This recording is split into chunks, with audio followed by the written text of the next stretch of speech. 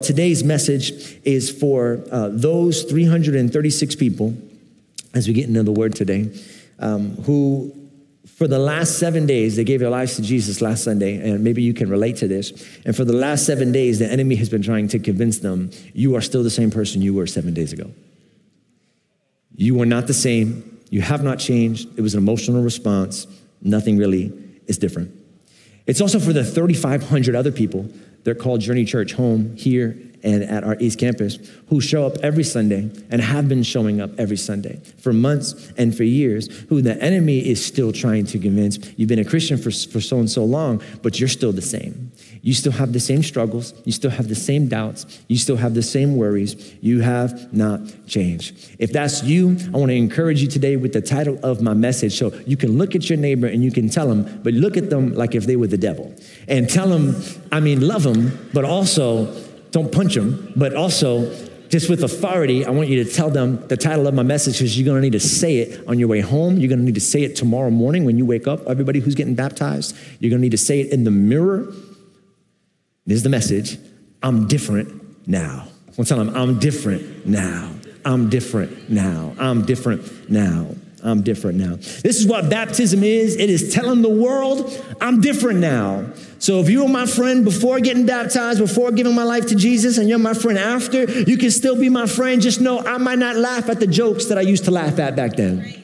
I might not go to the same parties that I used to go to back then. I might not drink the same drink that I used to drink with you back then. I might get the club soda today, okay? Because I'm different now. It's also a reminder for those who are watching those people getting baptized that you are different now. Well, I'm in the same situation, yeah, but you are different even though your situation is the same. You think about it different now. You look at it different now. It doesn't, it might affect you, but it didn't affect you like it used to affect you because you're different now, despite what the enemy might tell you. And yes, we have an enemy. His name is the devil, Satan, Lucifer. Call him whatever you want. One of his names is the father of lies. You need to know that the devil is a liar. The Bible says that when he speaks it, he speaks his native language. So, like I speak English, some people speak Spanish. The devil speaks lies. That's his language. And what he's going to try and tell you is despite all the things that God has said about you, that you are still the same person you were before you met Jesus which has led me to this conclusion the devil is the original gaslighter. Now, if you're like me and you do not keep up with the lingo of today, uh, I heard this word about a year ago. I had no idea what it meant. Uh, I just pretended like I did. You ever been in a conversation with somebody, be like, he's gaslighting. You're like, yeah, I, shit. And so I had to Google it and I looked it up. And so, this is the definition of gaslighting someone who tries to manipulate another person by making them question their reality. So, like parents, this is like when you tell your kids, if you get an A on all your tests, we're gonna take you to Disney. Kids are like, that's awesome. Then they get all A's, and then they come to you after they get all A's with their report card, talking about when we go to Disney. And you look at them and you go, I never said that.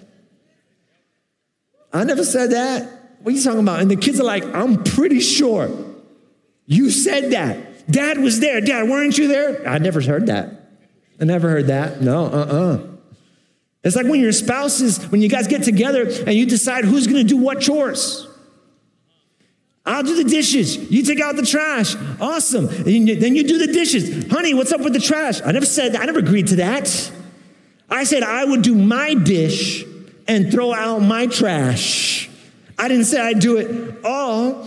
It's funny when you look at it like that, but it, on a deeper level, it's a really a, a, a, psychological and emotional abuse. Here's how I know the devil is a gaslighter because the very first words to come out of his mouth, recorded in scripture, are in Genesis 3 1. And here's what it is Did God really say?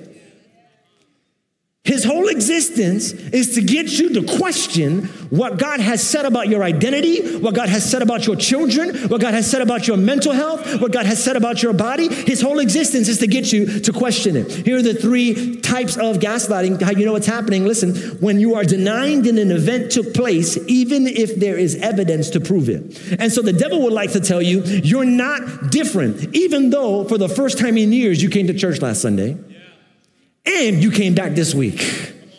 That sounds different to me, even though for the first time in years you had a conversation with God. this week. And it wasn't even like, oh my God. Like it was an actual, authentic prayer. Even though you haven't had a panic attack in six months, the devil wants you to believe you still wrestle with anxiety. Even though you haven't drank in two years, the devil wants you to believe you're still an addict. His whole existence is to get you to doubt what God has done in your life. The second one was making the victim feel like they are crazy or overreacting. Oh, you gave your life to Jesus last week. Now you're gonna go jump in the pool. Sounds like an overreaction to me. Now you're gonna go get in a group. Now you're gonna go come to church every Sunday. Just sit, just simmer down, simmer down. It's not that big of a, it's an overreaction. Actually, after what he did in my life, Res- this seems like the proper response to resurrection. This seems like the proper response to blessing. This seems like the proper response to a second chance and a third chance and a fourth chance. This seems like a, if you knew my testimony, you would know this is the proper response to my, my actions. The last one is manipulating the victim's environment to make them question their reality. And so you feel like, oh, the church loves me, Jesus loves me. Then you come to church one Sunday and the greeter outside didn't see you, so they don't say hi to you. And then all of a sudden, it's this church is not full of love.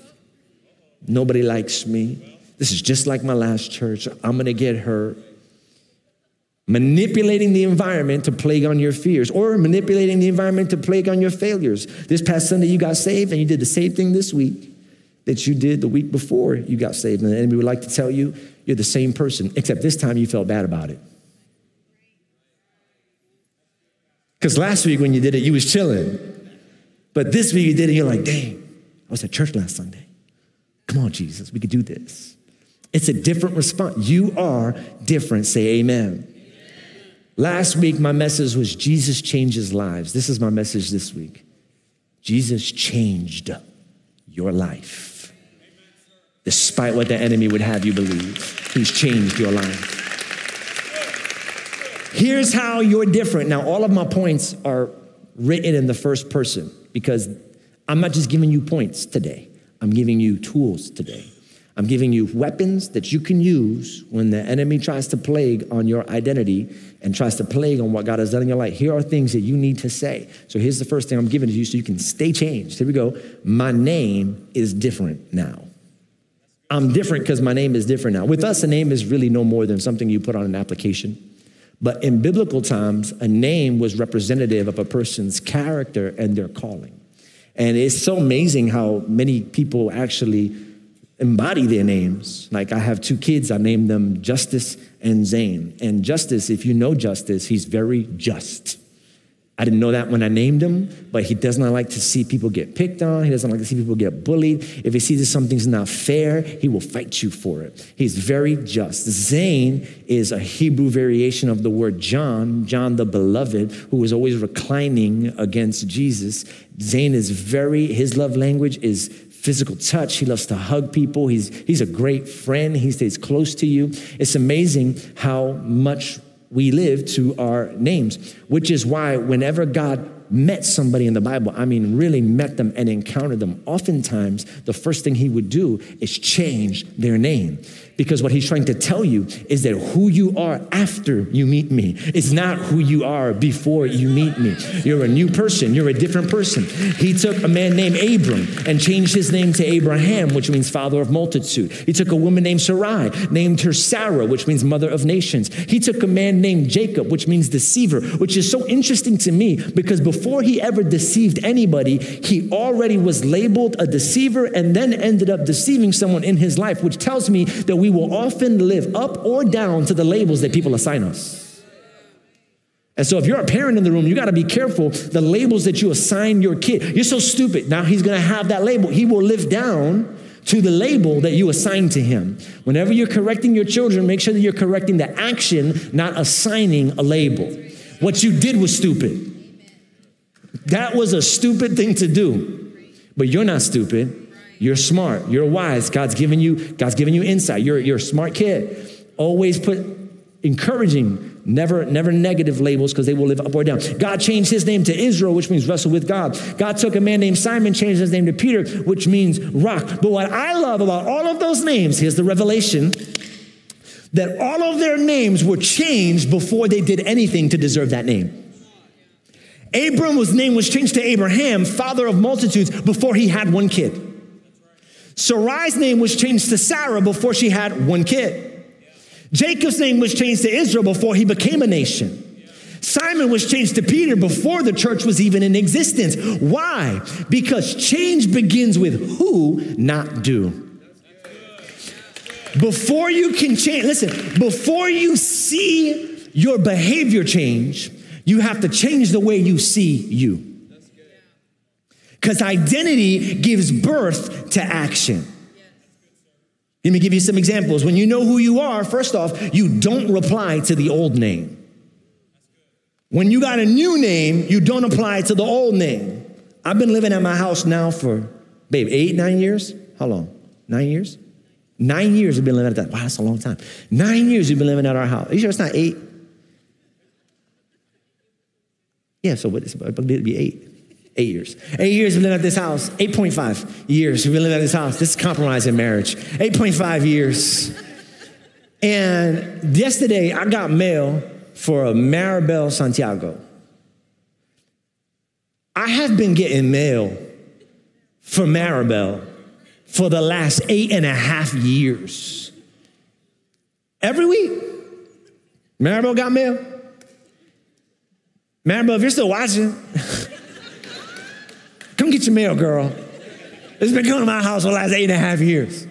But Zane, his responsibility, of his chores is to go get the mail. So for, he got it. He's like, Dad, who's Maribel? Like, is that some name that mom used to go by? And I'm like, I'm like, nah, man, that's the person who used to live here.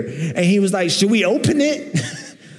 I said, no, don't open it. He said, why? I said, because it's not addressed to you. It doesn't have your name on it.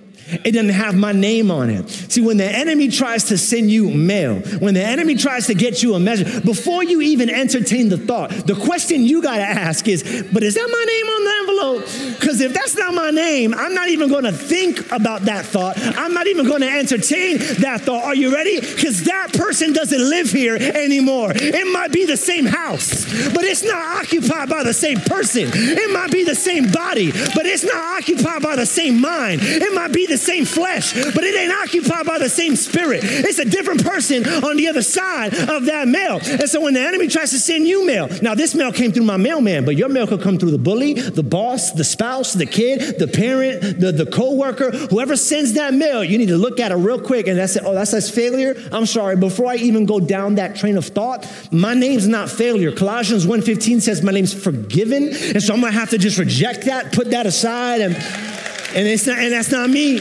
That, that mail says mistake, or I'm sorry, you got this confused. Mistake doesn't live here. According to Ephesians, masterpiece lives here. It says masterpiece. That's why, that's why I'm God's masterpiece. Well, you kind of also a mess. Well, have you ever seen a Picasso?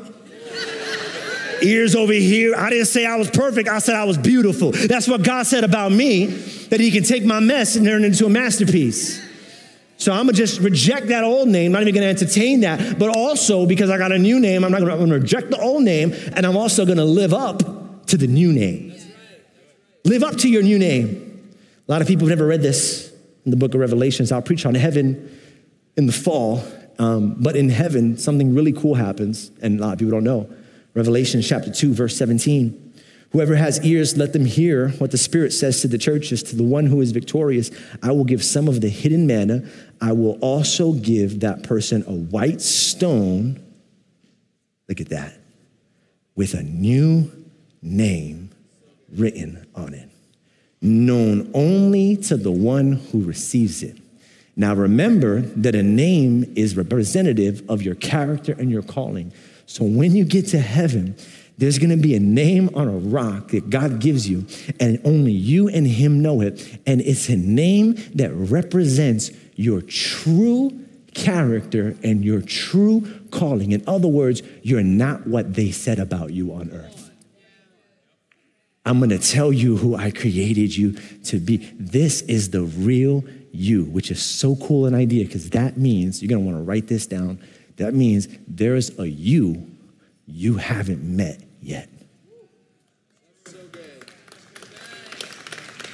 There's a you you haven't met yet that's still in process.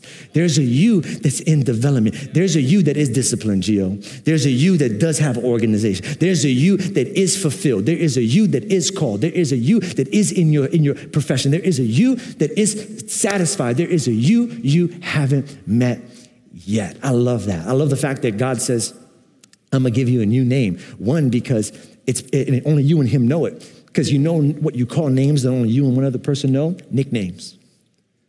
And a nickname is something based on intimacy that two people share. I love God as like when, when you get to heaven, God's gonna be like, hey, all the things that we went through, like that right there, that's you me, we know, you know. It, it insinuates his intimacy in our life and how he was with us every step of the way and how there's experiences that only he and I know. And that's why he, he's the only one who saw me cry that night. He's the only one who saw me break down that day. And so that name is indicative of that, which is beautiful. But I also love how he's saying, This is the true you. That person on earth, that name that they, that was never you.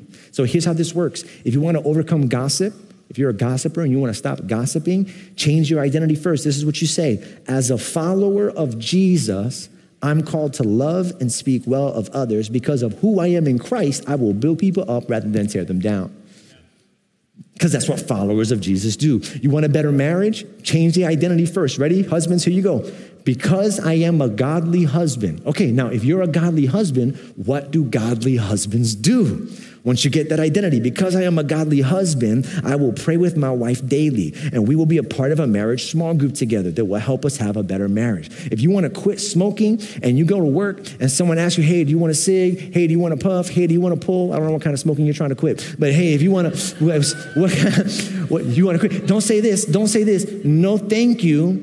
I'm trying to quit. Here's what you say you say, no, thank you. I don't smoke. It's not who I am. Are you with me? And when you change the way you see yourself, then what you do will follow what you see. Say amen. Amen. Here's the other thing you're going to change now when you give your life to Christ because you are a new person. I'm going to talk differently to myself now.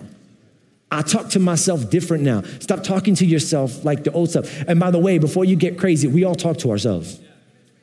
Everybody here talks to ourselves. But here's what we don't do that we need to start doing more of. Are you listening to yourself? We all talk to ourselves, but are you listening to yourself?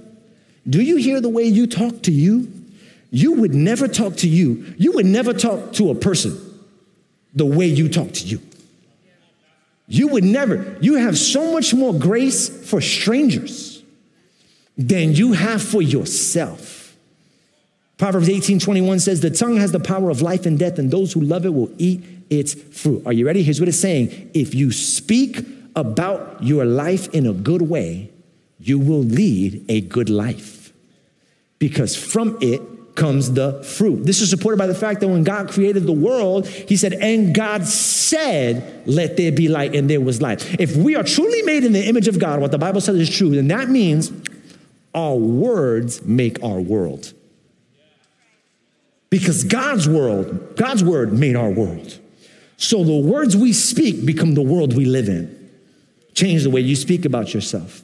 When Jesus died on the cross, we were, we were open to eternal life. But what allows that eternal life to get into us? The Bible says, if you believe in your heart and confess with your that Jesus is Lord, then you shall be saved. So not only do words create worlds, words give birth to new life inside of you. But here's the one I really want to hit James 3 3. When we put bits into the mouths of horses, we make them obey us. We can turn the whole animal. Verse 5 Likewise, the tongue is a small part of the body, but it makes great boast. Raise your hand if you've been horseback riding. You've been horseback riding? Raise your hand. Okay, a lot of people horseback riding. I remember going horseback riding in Costa Rica with my wife. It had been many, many years since I had gotten on a horse, and I'd forgotten just how terrifying it is. The moment you get on a horse and you see that that horse is 10 times your size and that and it starts and it's going wherever it wants to go. And I'm just thinking the moment I got on that thing, I'm trying to look tough for her. I'm like, this thing at any moment can step on me, kill me, kick me, knock me off. And I'm just trying to be like I saw in the movies with the cowboys. And, and I remember asking the guy who was leading us, like, how do I control this animal, which is so much bigger and stronger than me? And he said, that little thing that you have in your mouth, that little bit, it presses up against certain nerves in the back of their tongue that are very sensitive. And so you don't need to control the whole animal. You don't got to be stronger than the whole animal. But if you can just control the tongue, the whole animal, the whole, with all of its unruliness, with all of its strength, the whole animal will follow the direction of the tongue. Because we go, here's what I want you to learn the way of our words. We go the way of our words. So I'm gonna help you out. Here's some things we're gonna start doing differently. I'm gonna speak kindly to myself. Speak kindly to yourself. We would never talk to people the way we talk to ourselves. And here's why I think we talk to ourselves that way because we're really trying to punish ourselves. But why are you trying to punish someone who's already been forgiven? That don't make sense. I remember when I was a teenager, I had done a sin that was pretty bad, and, and I just felt real bad about myself. And I remember we were at a lock in, it was a youth lock in. Uh, it was actually church lock in where you stay up all night and pray. And I remember half the night, I was saying, Lord, forgive me, Lord, forgive me, Lord, forgive me. I'm so sorry, Lord, forgive me, Lord, forgive me. And about three hours into my prayer, I, I don't think, if you ask me, have I ever heard the audible voice of God ever in my life? I would say maybe twice. Not even for sure. I don't know if it was the pizza I ate the last week or what, but maybe twice, but one of those two times was that night at a lock in where at about three hours into the prayer, I was saying, Lord, forgive me, Lord, forgive me. And I swear I heard the Lord speak back to me. He goes, I already forgave you, now forgive yourself. And I never forget it. And I never forget it. You can be kind to someone who's already been forgiven. Here's another thing I'm gonna speak patiently to myself. I've noticed I've been yelling at my kids a lot more lately. Pray for your pastor. And I, I apologize to them every time I do it. I know it's wrong. But I think the reason why is because now they're turning 12, 11, hitting those teenage years. And I'm tired. When they were kids, I expected less because it was the first time you heard it. But now, we've been living together for a decade. And if by now you don't know to put back your towel when you're done taking a shower, I don't know what else to do but lose my mind. why have I lost patience? Because I got tired of saying the same thing over and over and over again. The reason why we lose patience with ourselves because we stop speaking is because we're tired of telling ourselves the same thing over and over and over and over and over and over. But here's what I learned with my kids. Ready? It doesn't make it any better. It doesn't help them get any better at all. I got to come at them with the same love, the same compassion. And here's the last one I tell myself a different story. You got to tell yourself a different story. When I'm at the gym, sometimes the weight gets too heavy and it falls. And, and there's a name for that when you work out to the point where you can no longer lift the weight any longer. It's called, do you know what it's called? Yeah, it's working out to failure. Well, failure is one word for it. You know what another word for it is? Training. You know what another word for it is? Growth. Because in order to grow, you got to get to the point of failure. So that next week you failed at 200 this week. Next week you're going to fail at 202.5 and 205. And over time, that's called progressive overload. You get stronger and stronger and stronger. You could call it, I'm trying to tell you, how about you tell yourself a different story? What if last week wasn't failure? What if it was progressive overload? What if it was growth? You're the one in charge of that narrative. And let me tell you, you're going to tell yourself a story no matter what. Might as well make it one that's built on faith, that's built on the word of God. Might as well be the story that God tells you about yourself. Here's my last point. Listen, now that you're different, I'm doing something different now. I'm doing something different now. I love Craig Groeschel. He's a mentor of mine, and he's a pastor out in Oklahoma. He wrote a book and, uh, called The Power to Change. I recommend it if you're looking for a book on developing habits called The Power to Change. And um, in one of it, he has a chapter called Flossing Saved My Life. And I'm not talking about the dance, I'm talking about flossing. Saved my life. And in it, he says, I hate flossing. I hate flossing, but he started a habit doing it every day. He needed to because I needed to start, put on the screen, flossing my teeth to convince myself that I am a person who chooses what's right over what's convenient. He has a lot of habits, reads his Bible, goes to the gym, eats right.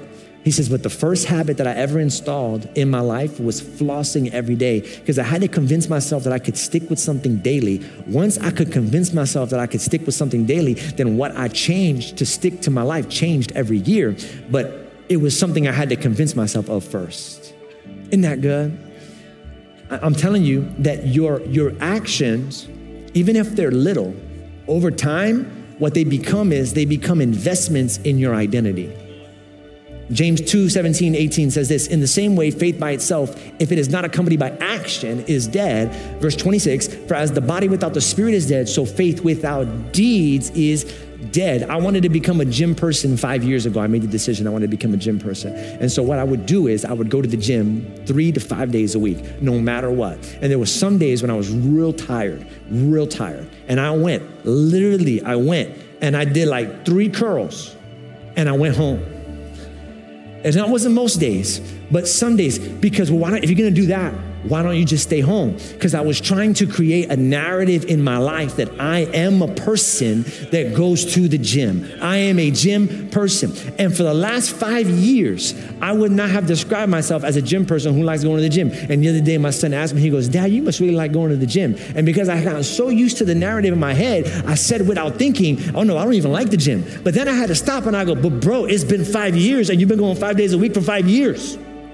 At this point, you probably like it. And I stepped out, I was like, you know what? I think I do like it. I think I do like it. Hold on, I gotta take that back. Yeah, I like going, but I didn't at first. Four years ago, I had trouble reading my Bible every day. So I started a, a, Bible reading plan, went to the Bible in a year. Some days I wouldn't read the Bible. The next day I would try and catch up. Some days I couldn't go through that whole list. There was like eight circles and I couldn't hit it on my YouVersion. So I just went to Psalm because it looked like the shortest one. But I read it because I'm not trying to read my Bible in a year. I'm trying to be a person who reads the Bible every day. Now, after four years, I can tell you I'm a person that reads the Bible every day. So you got to make choices. So listen, your choice can be I'm going to be the kind of person that goes to church every week. Even if I'm not feeling like it, I'm gonna come in. Even if I come in for the worship and leave before the preaching. Don't do that. That would hurt my feelings. But if you wanted to, you gotta make the choices. You gotta make the choices. Little choices. I'm gonna be the kind of person that prays every day, even if I'm not feeling it. Even if I sit down for 30 minutes or for 15 minutes and I don't think I got something out of it. You did you might have not got something out of it, ooh, but you put something into it. You put something into it that is gonna pay a return on investment in your identity. And so, really quickly, if you bow your heads and close your eyes, I wanna pray for all those who are wrestling, who've been Christians for years you're wrestling with your identity. You're wrestling with whether or not you've changed. You've changed. Jesus changed your life. God, I pray for everybody in the room today. Last week I said Jesus changes us. This week I'm saying He changed us already. He already changed us. I promise you. You're different. You're not the same. You're a new creation. You're new in Christ Jesus. Step into your identity. Live up to your name. Put away the old name. You're forgiven. You're a masterpiece. You're called. God's got His hand on your life. Step into who you are. Stop believing the devil's gaslighting you. It's not the same. And even if it's the same, you're not the same. You're different. Why? Because God said so. Because God said so. So I'm going to live my life based on this new identity in Jesus' name. In that same spirit, listen, I don't think there's just little changes we need to make. I think sometimes there's big changes we need to make. And there's a lot of big changes that we can make in our life. And one of the biggest changes is giving our life to Jesus. And if you're in this room today and you would say, you know what, or watching online, you're saying, listen, I, I think I'm ready for a big change because what I've been doing has not been working. That's you on the count of three. I want you to raise your hand high. Every head but every eye closed. You're in this room. I want you to raise your hand high. I'm ready to give my life to Jesus today. And because uh, it hasn't been working. And I need a big change. I want to be different. I'm going to do something different to be different. All over the room, every head, but every eye closed. Raise your right hand if that's you. One, three. One, two, three. Hands high, hands high, hands high. I see your hand. I see your hand. I see your hand. I see your hand. I see your hand. Praise the Lord. You can put it down. We're going to pray with you. You are not alone. All over this room, I want you to repeat this prayer after me. Everyone say, Father God, Father God today, today I want to be different, I want to be different. so I'm going to do something different. So I'm going to do something different. I've tried other ways. Tried other ways. It has not worked. has not So worked. today, So today, I choose to follow you, I choose to Jesus. follow you, Jesus. I give you my life. I give you my I give you all of me. give you all of I want to follow you, Lord. want follow you. I accept you, Jesus, accept Jesus, as the Lord as the Lord and Savior of my life, of my with the promise With the promise that after I say amen, I say amen, I will be I will be different. different. In Jesus' name we pray. Jesus' Amen name, and amen. Come on, put your hands together to welcome those who made the decision to follow Christ. Hey, we're JJ and Liz Vasquez. We wanted to say thank you so much for watching and engaging in today's content. Maybe today you made the decision to follow Jesus. We want to celebrate the incredible decision that you made. All you have to do is text Journey to 55498. We would love to walk this journey out alongside you. Hey, and don't let the journey stop here. We love for you to do one of three things subscribe, share, or support. If this ministry has blessed you at all, subscribe so you don't miss out on any new videos. Share with a friend. You never know what the people closest to you are going through. Or you can choose to partner with us through generosity, which helps bring these videos to people just like you. Thank you so much for connecting with us. Be blessed.